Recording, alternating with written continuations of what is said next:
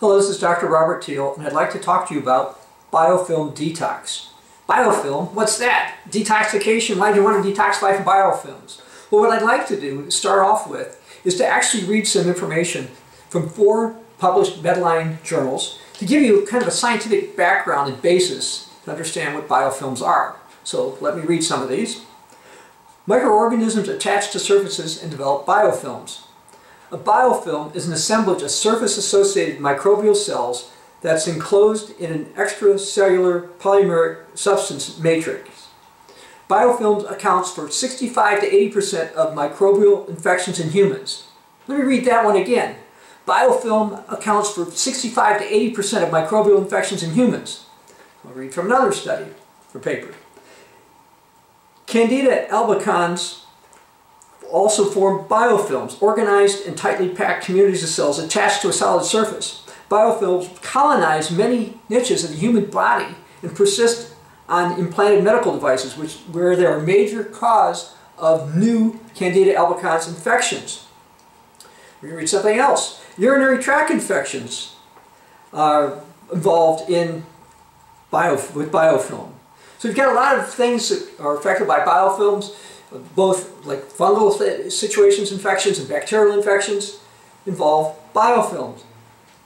So why would we want a product like biofilm detox? Well, for example, one of the ingredients in this is beta-glucanase, and it actually degrades uh, fungal cell walls to help clear up biofilm. It also has cellulase, which is an enzyme, of course, that breaks down cellulose, in the cell walls of fungi like candida are made of cellulose. And it also helps increase the breakdown of biofilms. Now there's also something in here called DPP4, which stands for dipeptyl peptidase 4. And it's found to inhibit the production of certain biofilms. This product also contains uh, echinacea for immune support. It's also got endopeptase, which basically helps break things down as well. It's also got garlic for immune support. It's also got uh. It's also got goldenseal, which contains berberine, and that's been helpful to reduce biofilm.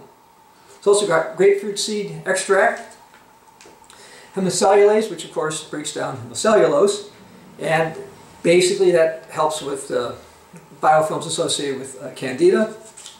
Also has many other things in it. For example, there's milk thistle in it, which contains silymarin, and it's been found to have inhibitory properties when it goes to preventing biofilm. It's also got things like uh, pectinase in it, various proteolytic enzymes, serrapeptase, as well as, for example, shiitake mushrooms, which actually have immune supporting properties, as well as antibiofilm properties, as, and in addition, it's got, for example, wild oregano. We've been using this product clinically uh, for a great period of time here. Uh, we've got the product uh, uh, uh sometime in 2018. We've had really good success with it.